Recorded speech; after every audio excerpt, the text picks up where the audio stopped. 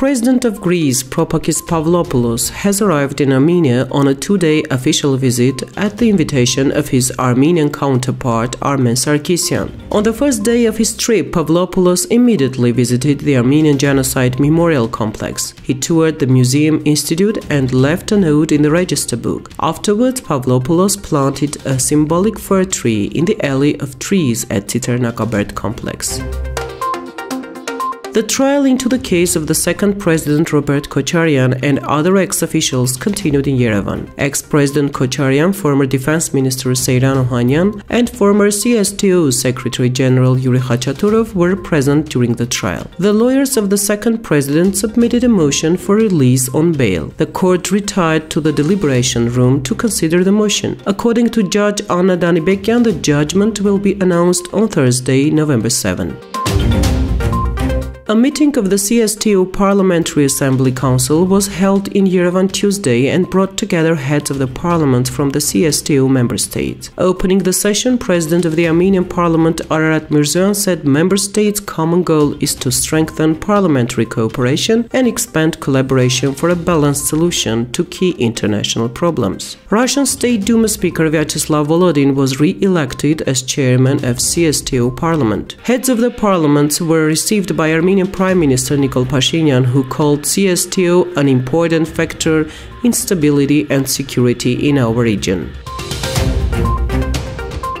The authorities of Armenia and Artsakh have the same position on the settlement of Karabakh conflict, Armenian Prime Minister Nikol Pashinyan said in his address during a live Facebook session. During a live address, which he titled Conversation with the Citizens Speculations over Karabakh, he labeled the speculations on different positions as ridiculous. Pashinyan emphasized that he often holds consultations with the Karabakh authorities. Armenian Prime Minister ruled out any conspiracy over Karabakh talks and insisted there is quite interesting dynamics in the negotiations. He added that once an acceptable solution is found, it will be discussed and adopted in the nationwide format.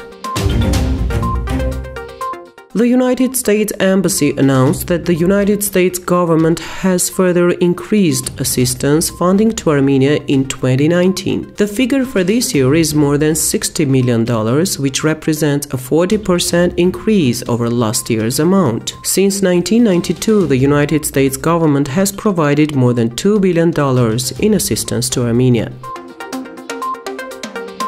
President of Turkey Recep Tayyip Erdogan may cancel his visit to Washington because of the Armenian genocide resolution passed by the House of Representatives last week, Turkish officials told Reuters. Erdogan was expected to arrive in the United States on November 13 at President Donald Trump's invitation, but he said the vote on the genocide put a question mark over the plans. Armenia has been recognized as Eurasia's leader in terms of internet freedom in 2019, Freedom on the Net 2019 report says. Armenia is named a country with free internet and ranks number 8 in the list, leaving behind even Japan and South Korea.